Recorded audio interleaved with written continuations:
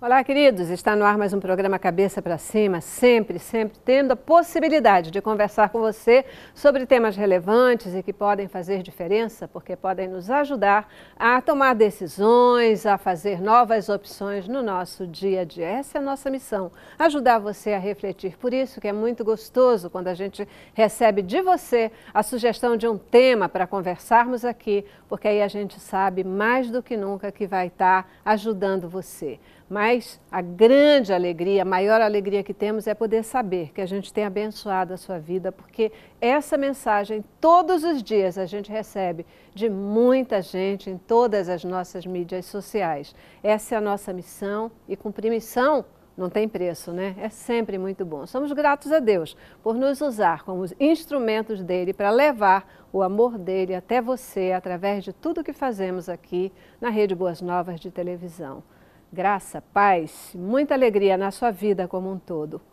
Meu registro nesse início de programa, eu nunca posso deixar de fazer, porque eu até tento às vezes, mas não consigo. É agradecer a você, querido semeador de boas novas, que é um agente de podermos estar aqui sabendo que permaneceremos até Jesus voltar, porque você tem orado por nós, você tem se colocado na brecha, nos ajudado a caminhar nessa jornada com a sua semeadura. Queremos continuar a ser terra fértil, queremos continuar merecendo a sua semente para levar as boas novas de Cristo a todas as pessoas. Graça, paz e muitas bênçãos de toda ordem sobre a sua vida e sobre a vida de todos vocês que nos acompanham aqui no Cabeça para Cima e na programação da Rede Boas Novas de televisão. O nosso tema de hoje é um tema da maior atualidade, um tema que a gente é muito bom a gente poder conversar sobre ele, de verdade. Atualmente, uma coisa que a gente percebe é, com muita frequência são pessoas retomando cursos universitários, por exemplo, ou mesmo iniciando uma universidade, um curso na universidade que nunca havia feito. Só que depois dos 50 anos de idade. E é interessante porque esse tipo de comportamento de retomada de vida a gente vê também em relação ao mercado de trabalho. Contudo, enfrentar um mercado nessa faixa etária nem sempre é simples, mas pode ser extremamente prazeroso, desafiador e prazeroso. E é sobre isso que a gente quer refletir no Cabeça para Cima de hoje, sobre o tema empregabilidade depois dos 50. Começamos com o nosso informativo. Arranjar emprego em meio a toda essa situação de crise financeira em que o país se encontra não é nada fácil. De acordo com a Pesquisa Nacional por Amostra de Domicílios, a PNAD, em 2015, por exemplo, a taxa de desemprego atingida pelo Brasil foi de 8,4%, o que fez o país superar os percentuais médios registrados no mesmo período em anos anteriores. Nesse contexto, quem já chegou aos 50 anos tem um desafio ainda maior para enfrentar por espaço no mercado de trabalho.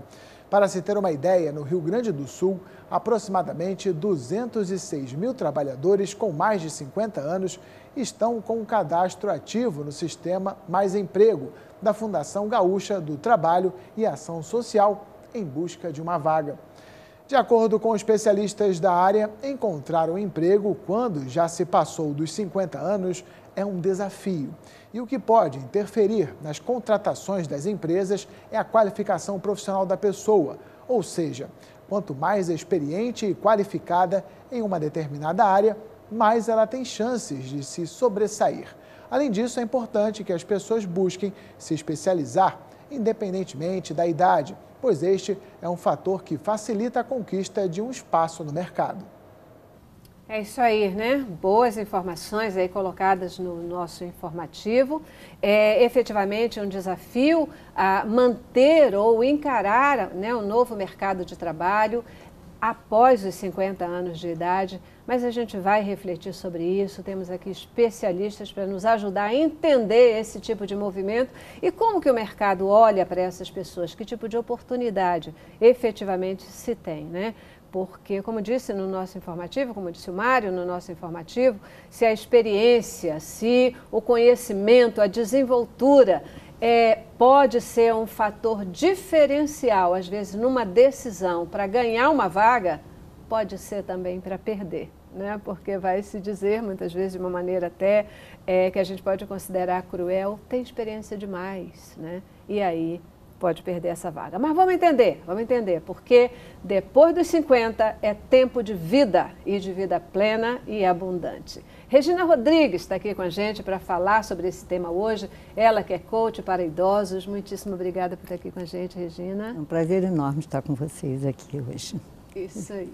Ajudando esse povo a se posicionar em mercado? Isso aí, tentando ajudar, né? Tentando ajudar. Procurando ajudar o máximo possível. Bacana. Muitíssimo obrigada, de verdade, por estar aqui com a gente, tá bom? Também conosco a Elaine Futi. Elaine é coach de orientação vocacional e gestão de carreiras. Muitíssimo obrigada por estar aqui com a gente. Obrigada a você por mais uma vez essa oportunidade, né? Que a gente possa passar alguma coisa boa, porque o que você falou é um tema atual, né? E as pessoas estão muito assim ansiosas para saber. E cada vez mais a gente possa estar né, tá contribuindo aí para para ajudar a, a, essa informação, né? É verdade. A gente vai, claro, voltar a essa questão, mas é até interessante, né? A gente está falando aqui é, depois dos 50, 50 como um marco aí, né, de desafios para retomada no mercado de trabalho. Quando a gente fala em aposentadoria aí, a gente se remete logo a 65 anos. Então, tem um tempo, 15 anos, não só, mas também que é, faz o quê? Se, agora a gente só se aposenta lá, então é um tempo de plenitude de trabalho, com né? Certeza. E é não da gente ficar com nenhuma. Mas como é que o mercado olha isso? Por que, que é tão desafiador? Né? Hum. Antes da gente começar a aprofundar o nosso bate-papo, quero apresentar para vocês também o Sérgio Dias. Sérgio é economista, é consultor do SEBRAE e, como ele mesmo disse, ele hoje aqui ele que disse, tá? É um case. Obrigada por estar aqui com a gente, Sérgio. Obrigada a você pela oportunidade de voltar aqui. É, exatamente. Quer dizer, hoje em dia eu trabalho como consultor de empresas, onde eu vejo é, empreendedores a partir de 50 anos, voltando ao mercado, não mais como empregado, mas já como empreendedores. E eu me coloco também como case porque é, eu me aposentei é, em 96, eu tinha 55 anos quando me aposentei. Uhum. E eu resolvi empreender, criar uma empresa. Legal. E eu hoje me sinto trabalhando mais do que eu trabalhava antes. E ainda com vontade de fazer coisas novas. Né? Então, eu acho que é, o tema é muito gostoso, eu estou muito à vontade dentro dele, porque eu estou dos dois lados, né? Verdade. Auxiliando e também sendo vivendo, o, o vivendo, né? Tendo a vivência dele, né? né? E com a presença das duas coaches aqui que vão me ajudar muito a, a entender melhor isso, esse caminho, né? Bacana, bacana.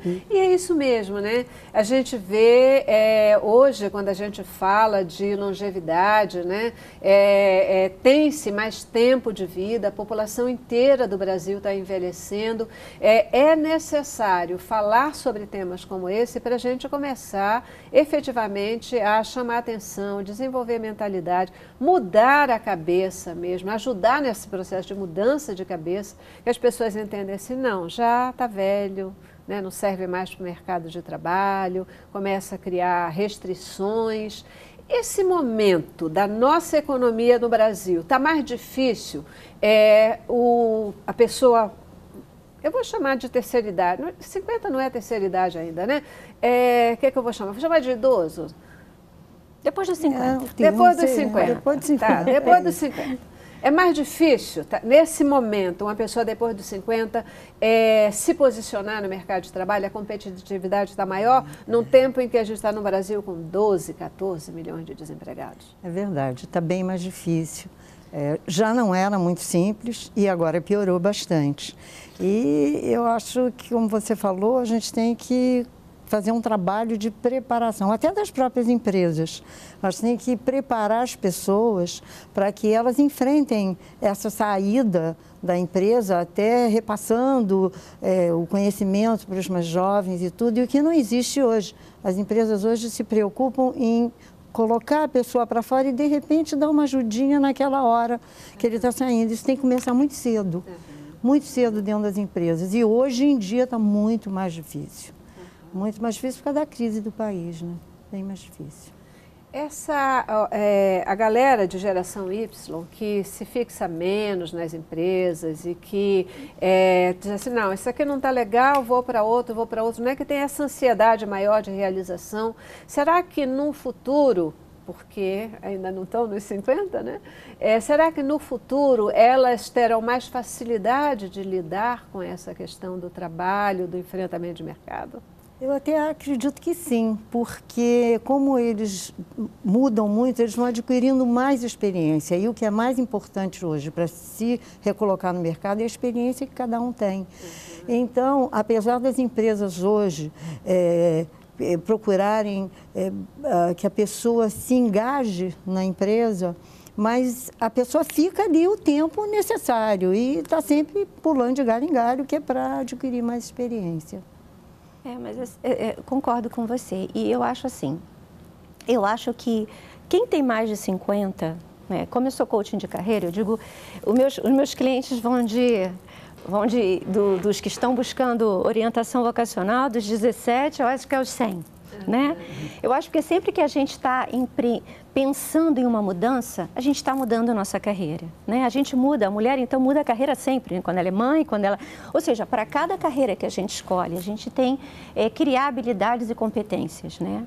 Então, quando você tem 50, o tratamento é igual. Às vezes você sai de um trabalho, né? E eu uso a mesma temática. Se você sai de um trabalho, ou se você está escolhendo uma profissão para você fazer, você está o quê? Criando oportunidade nova. Então, quem sabe se essa saída de uma empresa, como você falou, poxa, eu me vejo com 50, ele tem três alternativas. Ou ele pega a bagagem dele, que já está cheia lá, digamos, vamos fazer uma analogia com uma mala cheia, né? Uhum. A mala está cheia, então já está com muito conhecimento e tal. Ele usa aquilo e vai tentar viajar com ela mesmo, batendo de porta em porta, né? oferecendo seu produto. Ou ele pode pegar essa mala, usar parte do seu conhecimento, agregar novos conhecimentos. Né? Pô, já tenho uma experiência nisso, eu posso, de repente, empreender, posso ser consultor, posso... O que, que eu posso fazer com aquilo que eu já trago na minha bala, que não seja exatamente o que eu já fazia? Como eu posso me reinventar? Ou uma terceira opção, eu vou pegar essa mala, vou esvaziar essa roupa toda que está aqui e vou colocar roupa nova. Mas para cada uma dessas situações, ele precisa saber o porquê, e o que ele vai precisar fazer para que isso seja atingido. Né? Quando, ele, quando ele coloca mais coisas na mala, que ele já tem alguma coisa, significa uma, um aprendizado novo, significa uma reciclagem, significa estar, vou competir agora, vou entrar no mercado com novos. Eu tenho, esse é grande diferencial. Eu tenho um valor competitivo. É isso que as pessoas de mais de 50 têm que pensar. Qual é meu valor competitivo? Tem empresas, eu, eu, vi, eu, pesquisei, tem sites de empresas, inclusive, que tem lá, contrata as pessoas com mais de 50. Por quê? Por que alguém contrataria, para o jovem pensar, por que alguém contrataria alguém com mais de 50? Não responde agora não, tá? Depois tá a gente entra. Por que alguém contrataria alguém com, com mais, mais, de 50? 50? Essa é uma questão bem, bem interessante, né? E como é que você está olhando para esse mercado? É, eu olho com muito otimismo. É, apesar de existir, no momento, uma crise, mas dentro dessa crise tem oportunidades, né? Sempre toda crise traz oportunidade. E uma oportunidade que está acontecendo nessa crise é que as empresas que ainda estão buscando pessoas, estão buscando pessoas com um determinado perfil, que a pessoa mais idosa, né, de 50 anos para cima, por quê? Porque ela já tem uma bagagem de conhecimento, de relacionamento é, e, e, e também de contribuição para aquela empresa, porque ela não vai para ali para aprender, ela vai para levar o que ela já sabe. Então, elas estão sendo um pouco mais procuradas. É, tanto é que, recentemente, saiu uma estatística que houve um aumento da procura de pessoas é, com mais de 50 anos em, em, em, posições de trabalho. A grande vantagem, e aí eu vou já em cima do que a Elaine falou, é, a grande vantagem da pessoa que está nesse, nesse, nesse estágio da vida as, as, as grandes vantagens, né? não só uma só. Primeiro, é aquele negócio, eu já vi esse filme, então ela já passou por uma série de experiências Sim. que isso é muito útil e muito rico para esse novo ponto onde ela vai ser colocada. Esse, esse déjà vu, quer dizer, essa coisa de você já ter visto aquele filme, já ter uhum. passado por essas experiências, uhum. por situações semelhantes, ajuda muito. Segundo, o teu ciclo de relacionamento é muito maior do que uma pessoa jovem. Uhum. É, uma pessoa já que está nessa, nessa faixa etária, ela já criou o seu ciclo de relacionamento profissional, social. Uhum. Então, isso ajuda muito. E a terceira, que eu acho que aí eu concordo plenamente com ela, você pode fazer o que você gosta. Você não tem mais que se submeter a fazer alguma coisa para sobreviver. Você já sobreviveu. Você agora está na, naquela outra fase que você está se realizando. Então vamos fazer o que a gente gosta, uhum. o que a gente consegue fazer bem. E aí você vai fazer melhor do que um outro que está buscando só um local de trabalho. Você não. Você está buscando uma satisfação também. Então, essas vantagens que uma pessoa de terceira idade traz, e com isso as empresas estão começando a enxergar que a produtividade dessa pessoa é muito maior do que a de um jovem. Né? A gente estava conversando no, antes Ao de. Ao contrário do que às vezes a gente vai pensar, né? Ah, já não tem mais força física, já isso, já aquilo, pode ser a produtividade. É, a gente estava comentando sobre um um filme que passou recentemente, O Estagiário. Senhor com, Estagiário. O Senhor Estagiário, com o é, De Niro, excelente. que mostra exatamente isso. A experiência dele, a vivência dele, a maneira como ele encarava os problemas, ele conseguiu se sobrepor aos outros e acabou sendo aceito naquele meio, né? De uma forma muito simples, né? Porque ele trouxe valor para aquilo, para aquele para aquele, aquela, aquele ambiente. Aquele né? ambiente. Né? Ele já chegava não para estabelecer uma questão de competitividade, mas ele chegava para ajudar, porque ele estava ali só pra em agregar, busca né? Né, de, de, realização de pessoal. realização pessoal. Exatamente. Eu queria colocar algumas coisinhas em cima do que vocês já colocaram agora, para a gente fazer um fechamento desse bloco, porque assim. É, é, fato que muitas vezes, nesse tempo de terceira idade, se vai para o mercado de trabalho, nesse tempo após os 50, né, é, se vai para o mercado de trabalho ah, nessa busca da satisfação pessoal. Não quero ficar parada, eu já me realizei profissionalmente, mas não quero ficar parado agora. Mas às vezes a gente ainda vai por necessidade mesmo. Tem que Sim. sobreviver. É. Complementar, Complementar a sua renda. Né? Até porque a aposentadoria, a gente sabe que no Brasil, ela ah, não é, é, difícil, né? É difícil de você sobreviver só com aposentadoria. Parece que às vezes está ficando pior, mas tudo bem, esse é outro programa. é, é, difícil, então muitas vezes se vai por sobrevivência mesmo. E aí são situações que a gente quer ouvir como é o olhar de vocês para uma situação e para outra situação, né? Quando a gente vai só para a realização pessoal, como o senhor estagiário, e ou quando a gente vai porque não tem jeito, precisa mesmo estar nesse mercado de trabalho. Mas eu queria um comentário em cima também de uma fala sua, Sérgio, me permita, né? não é para discordar, mas é para complementar. É que eu acho que, assim, é, em qualquer idade, em qualquer tempo, quando você vai para um ambiente, é, e penso que muitas vezes isso é o problema do mais velho, do mais experiente, quando chega no ambiente de trabalho, é ele achar que ele vai só para ensinar e não é, para aprender. Falar, é que ele vai para colocar a experiência dele e não para aprender. Aí é, eu penso que ele chega com uma arrogância para desconsiderar, por exemplo, a maravilhosa experiência, inovação, liberdade dos jovens, dos inexperientes, dos que ainda não foram de alguma forma formatados por uma uhum. história, né? E aí acha que é a sua eu tenho absoluta certeza que não foi essa o não, não, esse tema da colocação foi. que você é, é, fez, mas eu só estou fazendo o contraponto. Sim, eu acho válido isso. Para chamar a atenção para esse outro lado. Né? É, eu, eu acho. Eu... Oi, não, desculpa. É, eu acho muito interessante, eu ia falar sobre isso, inclusive, porque algumas coisas, a, a, pessoa que tem mais de 50, que já tem uma bagagem, ela não pode achar que aquela bagagem é a melhor de todas. Que ela vai chegar é na empresa, que é a sua mala, o que tem lá dentro, Exatamente. é o melhor, é a melhor roupa, é o melhor, e, e, que ninguém vai conseguir superar aquilo. Na realidade, algumas, algumas mudanças comportamentais, eu acho que, eu acho não, tenho certeza, precisam ser feitas para que ele seja bem absorvido nesse trabalho, inclusive na própria entrevista de emprego. Né? Então, assim, é, essa flexibilidade de saber, eu estou entrando outra vez. Né? Então eu tô, eu tô retornando, eu não vou conseguir ter a mesma condição ou de hierarquia ou de poder, né?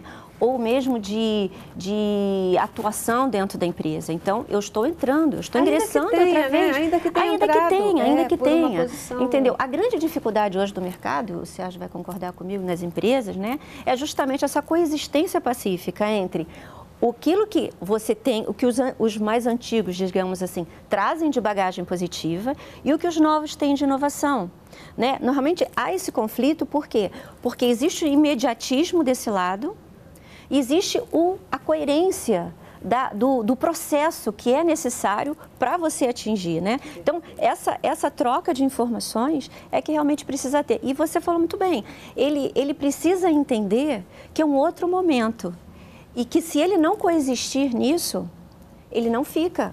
E ele precisa a evolução, precisa estar no aprendizado, precisa estar e precisa e os jovens também precisam aprender com eles, porque a bagagem que se traz, né, os baby boomers, né, porque os, os 60, 50 são os baby boomers, né? Então essa geração Y que está aí né? Não é nem os de X, são os de baby boomers mesmo. Essa geração Y que está aí, que quer tudo imediato, que acha que o velho é o velho, né? Eu acho que ela, ela, ela já está começando a mudar, né? Ela já está começando a ver que não é bem assim, porque ela já bateu um pouco a cabeça e está vendo que o que, que eu posso aproveitar. Precisa ter tolerância também. né? Tolerância, ter de ambas as partes, Eu né? vou, Não eu vou, eu vou, eu preciso ir para o intervalo, porque a gente já estourou demais o nosso tempo. Eu vou para o intervalo e eu volto com você, tá bom? Para você também colocar o seu ponto de vista. Vamos para o intervalo. Cabeça pra cima. Cabeça pra cima. Isso aí, falando sobre empregabilidade depois dos 50. E você? Você que está acompanhando a gente agora, onde é que você está? Você está antes ou depois dos 50? Está trabalhando? Já está em casa? É, por opção, o que não tem problema nenhum. Ou, e você aí está pensando em como aplicar o seu tempo, como aproveitar tudo aquilo que você já vivenciou antes?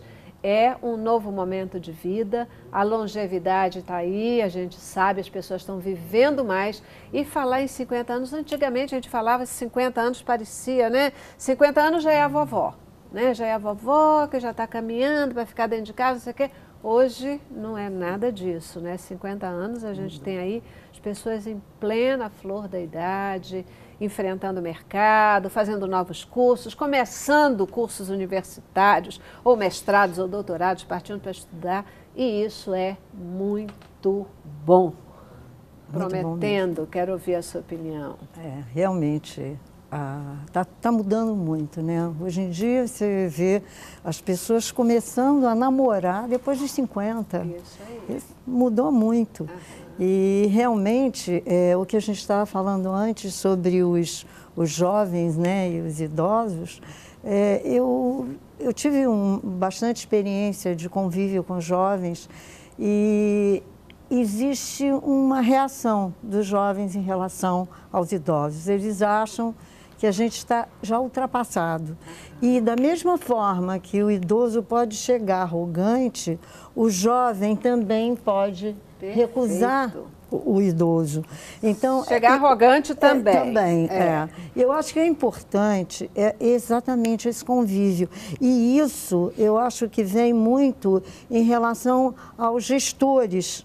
Né? E hoje em dia a gente tem muito gestor e muito pouco líder. Esse é que é o grande problema. As pessoas nas empresas precisam de mais lideranças que orientem tanto os jovens quanto os idosos, né? para que haja um convívio melhor. Então, eu acho que a maior parte dos gestores são ainda muito jovens e inexperientes. Eles precisam aprender a ser líder na empresa. Aprender a ouvir, aprender é, é, tirar proveito né, das- dos questionamentos que chegam, que batem.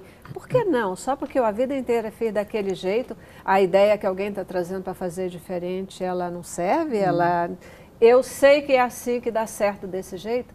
Que tal tentar? Pode dar muito mais certo. né? Eu estou vivendo uma situação bem dentro desse, desse cenário, né? No, no Sebrae. Eu trabalho num projeto onde eu sou mentor de 10 agentes que são contratados pelo Sebrae através do CNPq, bolsistas, são jovens. Eles são. A condição para entrar no programa é do máximo dois anos de formato. Então, a maioria é jovem. um outro que já entrou para a faculdade mais tarde, mas ainda são jovens em relação a mim. E eu sou, eu sou capacitador deles, eu faço é, o trabalho de capacitação na, na metodologia, uma parte da metodologia, e sou mentor durante, durante 30 meses de um projeto que eles têm que acompanhar empresas. É, eu vejo esse trabalho exatamente como vocês estão colocando, né? Quer dizer, essa troca da aquela experiência, quando eu falei no outro bloco que você entra com a experiência, não essa experiência não é arrogância, é, é a tua bagagem, é a mala dela com as roupas que você carregou durante algum tempo. É claro que essa mala tem que ser colocada, algumas roupas têm que sair, porque elas já saíram de moda, né? a metodologia já morreu, e entrar novas roupas. Bom, tudo bem.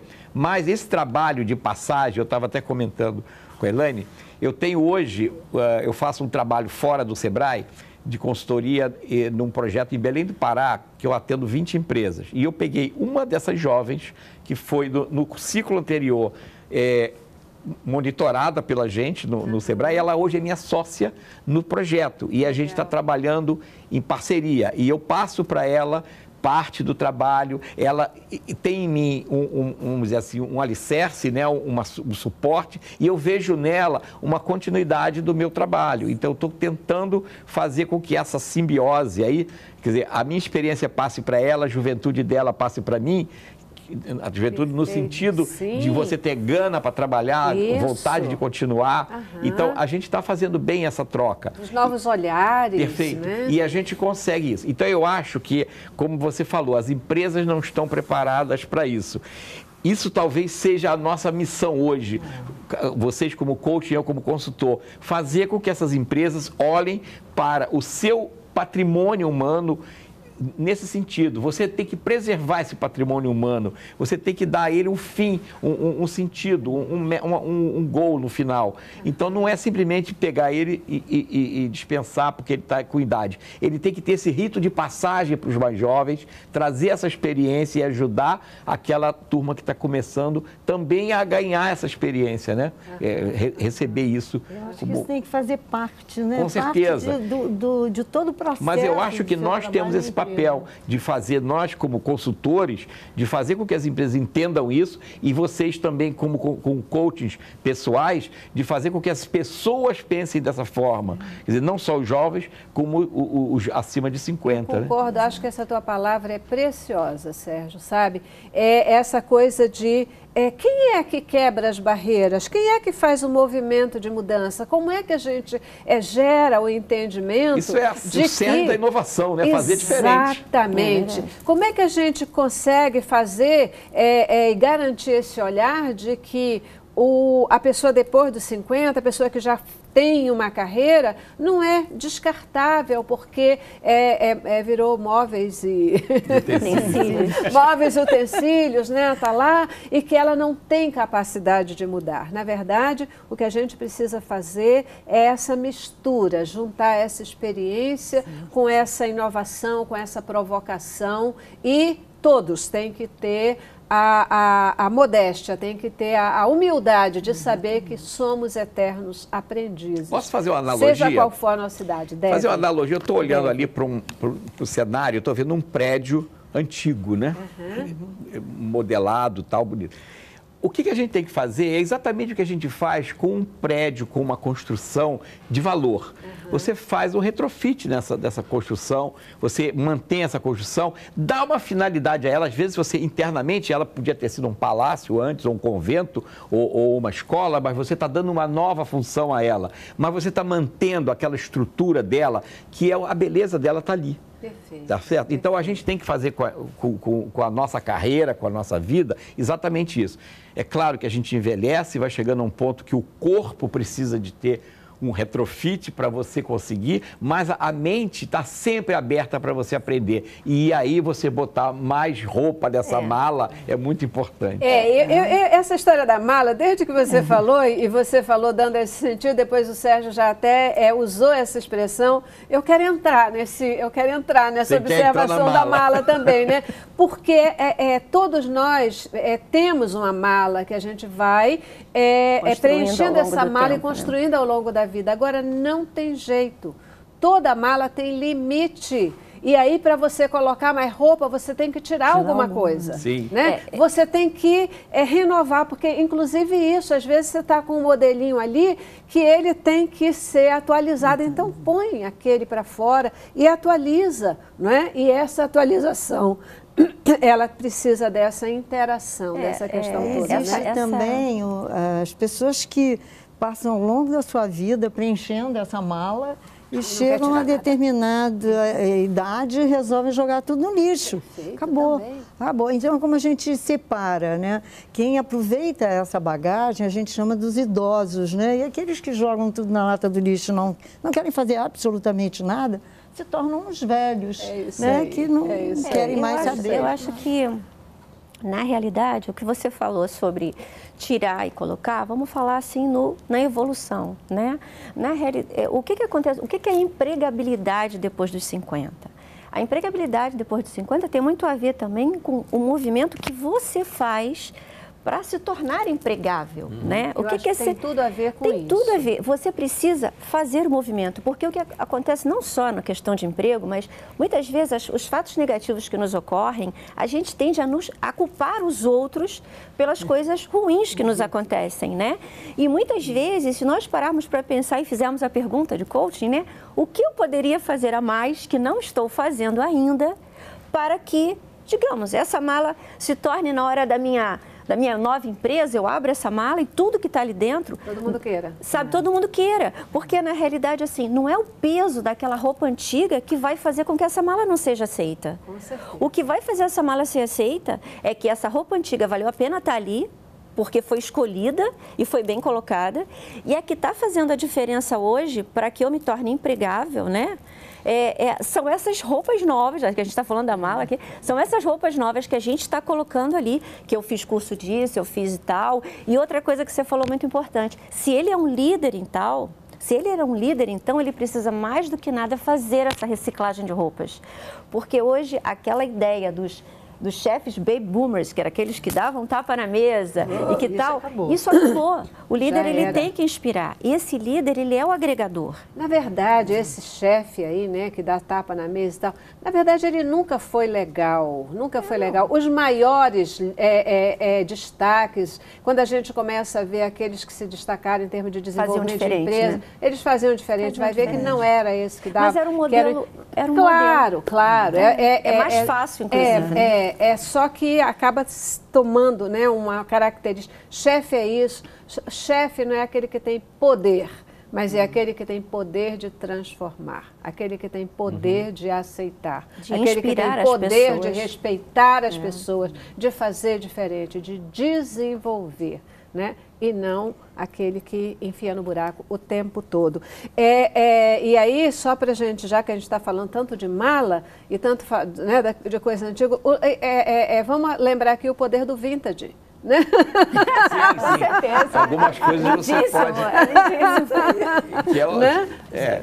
Uma coisa que, que eu acho interessante também, a gente está falando aqui de empregabilidade, mas poderia ser essa empregabilidade, ela poderia ser transformada em empreendedorismo.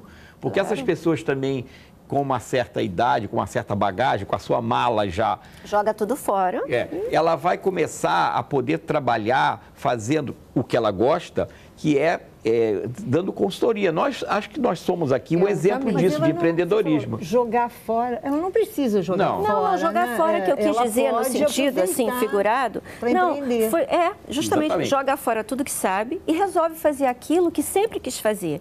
Que por uma questão de demanda de família, de construção de patrimônio, né, de outras opções de vida, né, ela não conseguiu fazer. Né? A gente estava até comentando sobre isso, né? Ele, ah, eu sempre quis ser jornalista. Então, assim, o que você fazia? Que, que fazia todo sentido para você e que você teve que interromper, né? por Resgata, algum né? motivo. Resgata isso. Olha que coisa maravilhosa você Exatamente. poder É um resgatar caminho bacana, numa hora dessa. Ou seja, encher com outras coisas totalmente fazer diferentes, né? que aí. realmente você gosta. e que É. você que tem- pode te dar alegria, Exatamente. realização Exatamente. e que vai é, fazer bem para você e para a E sociedade com a perspectiva de que todo, você vai né? fazer isso por É. uns 20 anos, 30 anos. Sem dúvida.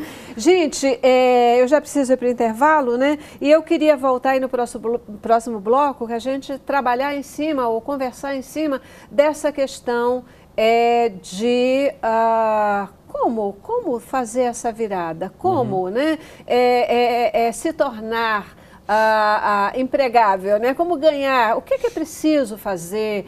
É, como olhar para si mesmo? Por exemplo, tem uma curiosidade: quando você se tornou empreendedor, foi no mesmo ramo que você trabalhava antes ou você se reinventou? Como é que é Uhum. essa história, né? Quais são os conselhos que vocês dão quando as pessoas chegam lá e dizem assim? é, estou desempregada e quero retomar o mercado de trabalho. O que, é que vocês recomendam? Tá bom? Vamos fazer uma consultoria aqui, no Sim. cabeça para cima. Intervalo. Cabeça pra cima. Cabeça pra cima. Isso aí, queridos. A gente tem aí de- é uma realidade de que as pessoas estão vivendo mais, muito mais tempo. Aliás, o Brasil está envelhecendo.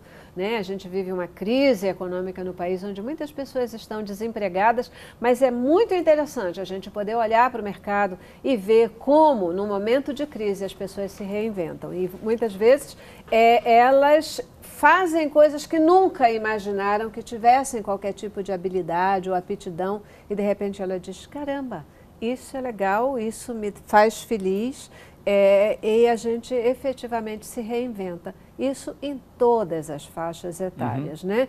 E aí, vamos dizer que as pessoas com mais de 50 que já têm uma bagagem podem até ter uma vantagem competitiva nessa história. Tem.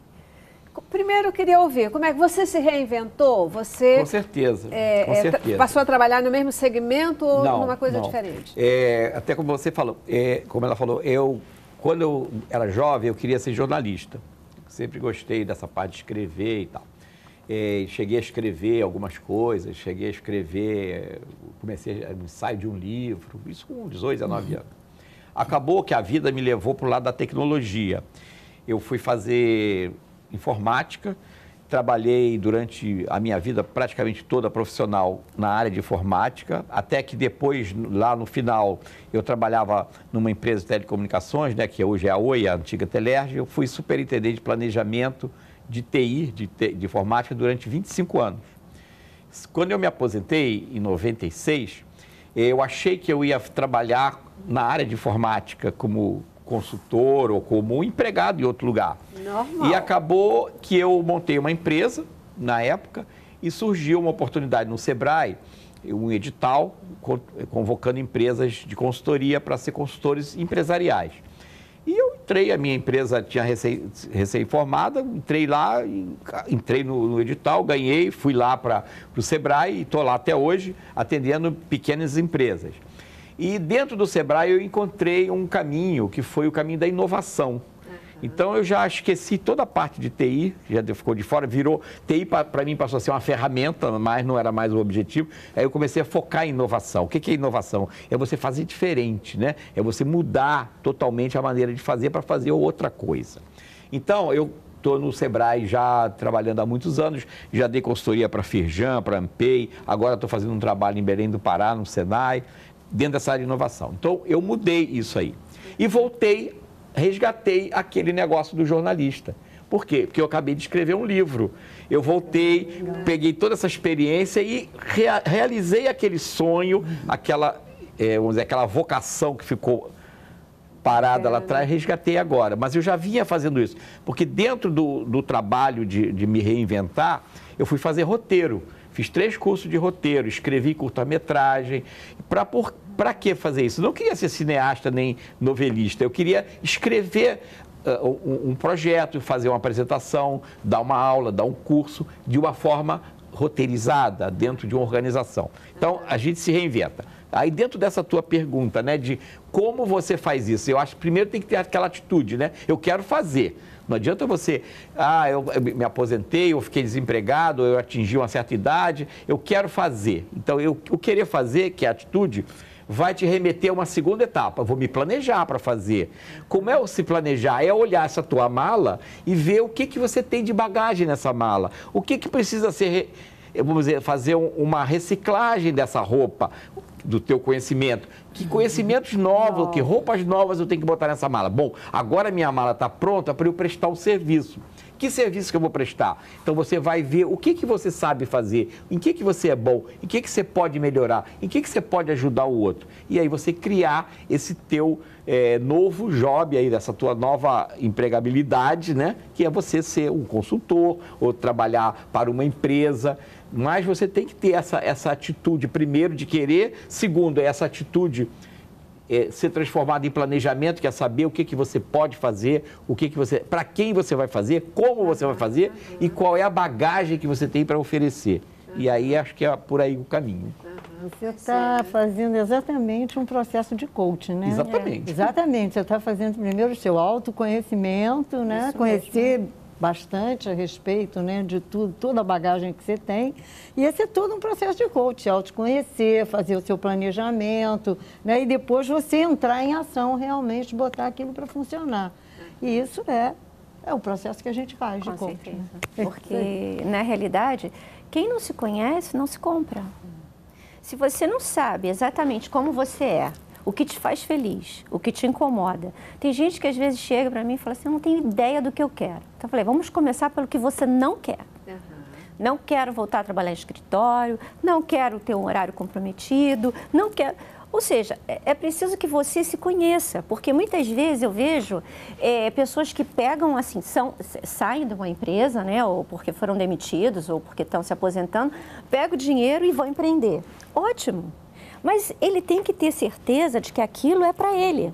Porque pode ter dado muito certo com um amigo que abriu né, uma pet, está dando dinheiro e Que tal. às vezes é isso, né? O pessoal diz, ah, não, tem um amigo que fez isso aqui, Fez deu mais isso, maior isso. certo, então vou por aqui. Opa, Mas cuidado. nem todos os caminhos são para todos, né? E assim, não é melhor nem pior, ah, porque ele abriu e eu vou voltar para o mercado de trabalho, será que eu não tenho competência para empreender? Não, você tem competência para ser um excelente funcionário, dar uma grande contribuição para a sua empresa, porque é o seu perfil, é onde você quer estar.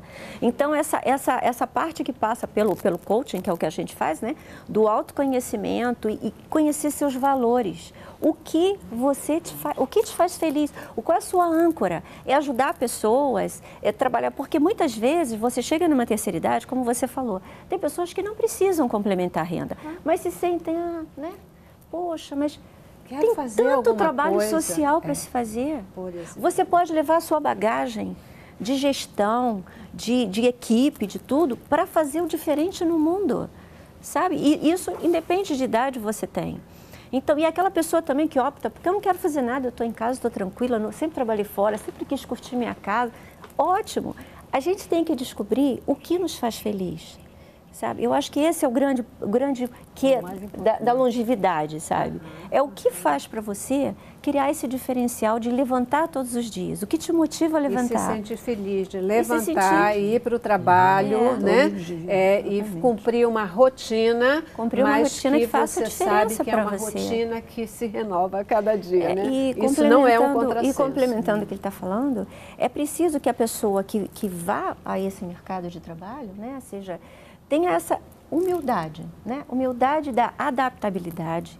Né? Ele vai ter que se adaptar a uma nova realidade, seja como empreendedor, seja como funcionário de uma empresa que ele está entrando, né? Ele vai ter que mostrar seu trabalho também. Ele já não tem aquela as pessoas já não conhecem, ele vai ter que É. abrir, começar a mostrar uma por uma, né? Então ele vai ter que ter essa, essa capacidade de adaptação. Eu acho que é uma das Dentro questões. do que ela está falando, tem uma coisa muito interessante, que às vezes, dentro dessa tua mala de conhecimento, está faltando alguma coisa que você não consegue ter.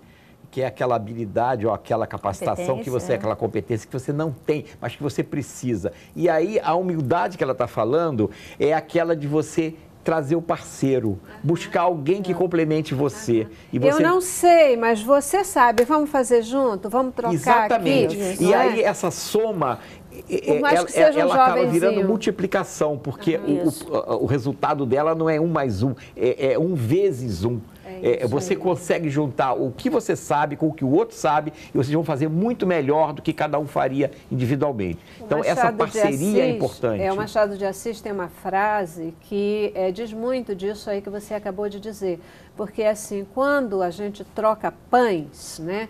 Se a gente troca pães, eu fico com um pão e você fica com um pão. Mas quando a gente troca ideias, é diferente, Perfeito. porque aí a gente já não fica mais com uma ideia e outra ideia. No mínimo, a gente vai ficar com duas ideias Duas cada um, ideias, né? é Porque as verdade. ideias elas sempre se somam, elas nunca ficam, não, não Então, uma- estanques, um, um dos é caminhos legal. da empregabilidade talvez seja você buscar essa complementaridade com o outro que está na mesma situação que você e vocês criarem alguma coisa muito mais rica, com muito mais valor para o mercado. Existe algum segmento de mercado que ele é mais propício, ele é mais adequado, é, ele é mais ah, é, possível para pessoas depois dos 50?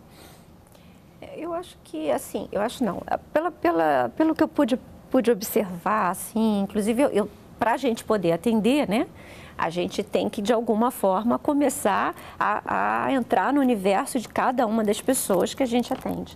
E dentro dessa, dessa faixa de, de empregabilidade, eu vi que a área de serviços, a área de serviços ela é muito, muito propícia. Não, não sei se, se predominante, tá? Mas ela é bem, bem propícia por quê? Porque é, é o atendimento ao público, a parte da empatia, do comprometimento, do engajamento com a empresa, né? Então, são as pessoas que, às vezes, assim, elas trazem, assim, na sua própria maturidade, né, na sua própria evolução como pessoa mesmo, emocionalmente, ela traz uma bagagem que hoje as empresas estão, estão vendo isso. Eu até estava comentando no site de... Tem um site de um supermercado que ele quer pessoas com mais de 55 anos justamente para lidar com o público.